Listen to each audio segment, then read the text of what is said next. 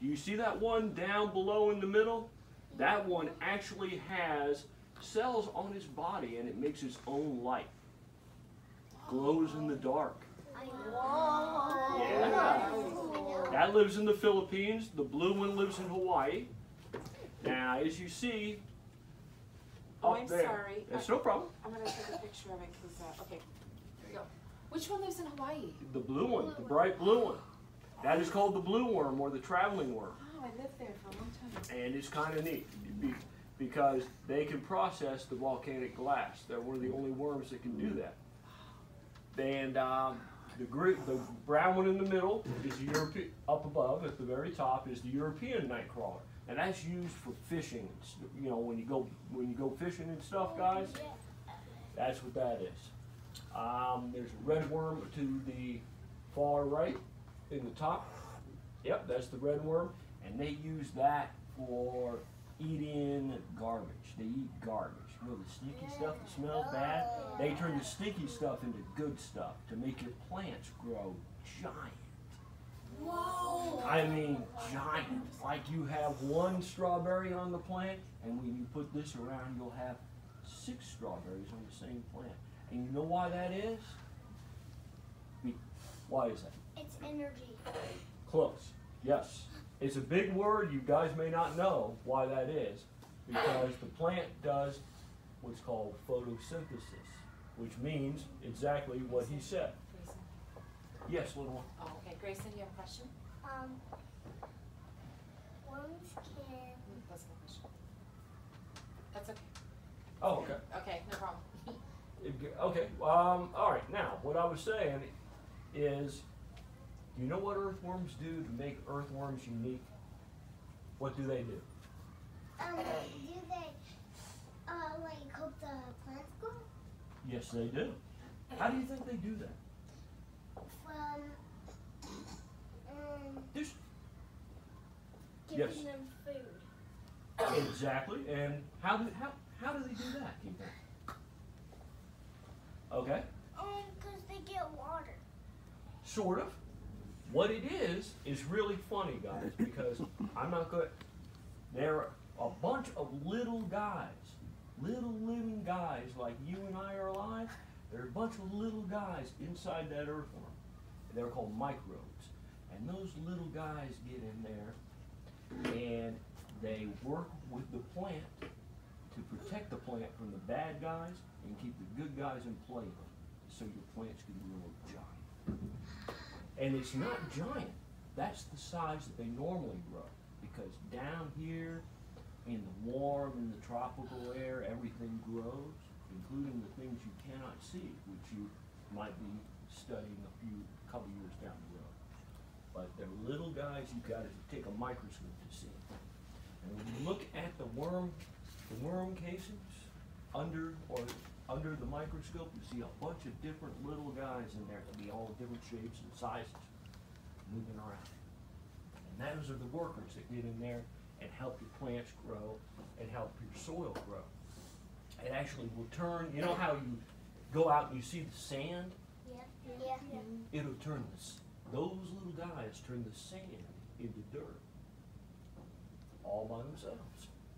Now, it takes a little while, but it turns it into dirt. And you know, the dirt will, is what helps your plants grow. Kinda get what I'm saying? Alright. Now, I'll tell you something that's interesting, that you may, may or not, may, this is a good part, this is the Oh, educational part. Oh, good, yeah. You may or may not know this, but an earthworm, you know how you've got one heart? Yeah. An earthworm can have between five and seven hearts. What? Yes. And does anybody in this room, now this is going to be a big word, this is going to be a big word, guys. You may not know what this means, but I'll tell you. Does anybody know what the word regenerate means? You in the group. It means like you grow back. Exactly. That's exactly what it means. Regenerate means grow back. That is the exact definition. So, if I was an earthworm and I had my arm cut off, I could grow another one. They are the only land animal that can regenerate. So if you cut a worm in half, you didn't kill him. He just can't have babies, but they make two separate worms. Two uh, living organisms out of one thing. Yep, that's called regeneration. Now, worms don't have babies like you like we do. They have capsules, which are down in the far corner here, right there. Um, those and they look like little amber footballs. They have the shape wrong there. They look like, and they're smaller than a grain of rice. Let me see if I have some pictures. Yes, I do. Here are the worm eggs. That's a dime, just to let you know. Oh my goodness, look at those guys. See how small they are? And you see my hand there? See that's a baby worm and a worm egg that I pulled out of the bin. That's, that's not, or is that something? That's you- dirt. That's dirt. Dirt, okay, so it's. That's the worm egg, and that's the baby worm. That worm right there is probably three days old. Now, every week, an earthworm has what's called a capsule or a cocoon, and inside that little amber football that we were talking about is between five and twenty, depending on the species of the worm, little tiny worms in there. And they stay in there until they get big enough to break through the cocoon, and then when they do, they look like little. You ever seen a thread off your shirt? They they look like that, except they're moving around, and you don't want to handle them, guys. Do you know why? Because if you handle them, they'll die. Like newborn baby skin is very sensitive. Now you want to make sure let them sit for two or three days until their skin changes color to a pinkish color. When they're pinkish like that, when they're in, that I'm holding, it's okay to hold. So, um, now one thing about the earthworm that you may or may not know, and I'm not going to get too scientific. Don't worry. Thank you. Um, I'm going to keep. Worms have remained unchanged for half a billion years. Do you know that we, as humans, have only been on this planet four million years? They've been there half a billion years. You know the big rock that came down from outer space and blew up the dinosaurs and all that stuff? The worms lived through that. Did you know every grain of sand that you see out there has been inside a worm at one point or another? Worms live in the water, they live in the ocean, they live in the Arctic. There are worms that can freeze solid and come back to life. Yeah. So they're kind of interesting animals. They are the second oldest living thing on the planet. This, now this is beyond you guys right now. You guys should know this. But the oldest thing is the jellyfish. Just to let you know, the oldest thing. That's where. So anyhow, that wasn't too bad, was it? Great, I Uh, love it. okay, okay.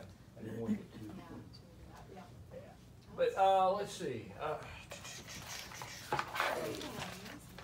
I don't look at them very often. Is Oh, a- a here's something. in here?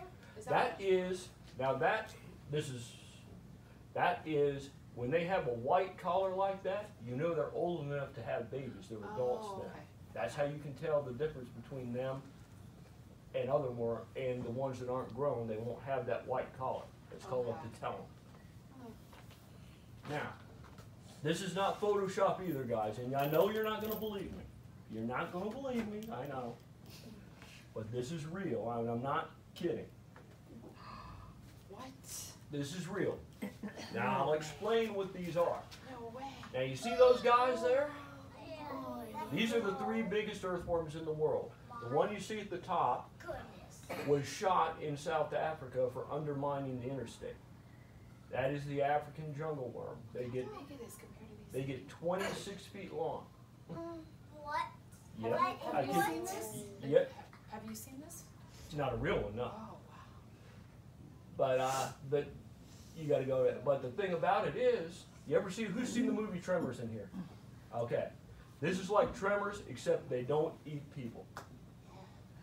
Because worms cannot eat people. You know why? They've got very small mouths. You, does anybody know what, what a shop vac is? Yes. All right. An earthworm sucks it up like a big vacuum cleaner, runs through their body. They grind it up with grinders, so the plant doesn't have to break down the food. The earthworm does it for them. That's what makes them so good.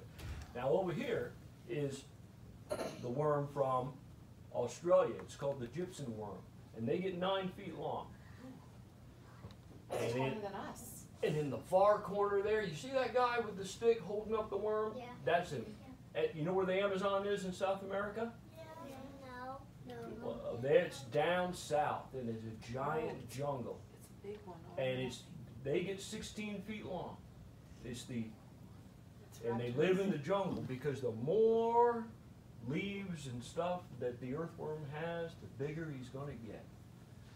Now, the, the one thing that you got to remember about the earthworm, the earthworm needs moisture to live.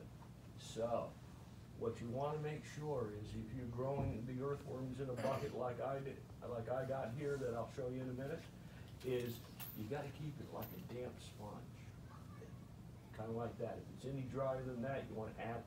Yeah, bud. Um, the one on top, like the Yeah. huge one. Where does it live? South Africa. Lives in Africa. Kind of cool, huh? Yeah, a little. one. Um, see. And they can't hurt you at all.